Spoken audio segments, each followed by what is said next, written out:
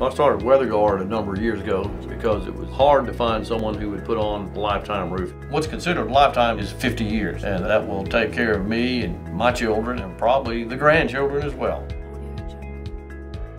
I didn't want to have to put any more roofs on my house. And Weather Guard said, okay, it's a lifetime warranty. It is transferable. If uh, we decide to sell the property, the new owners can take over. It'll be their roof and their warranty. Once you spend your money on the roof with Weather Guard, you never spend another dime.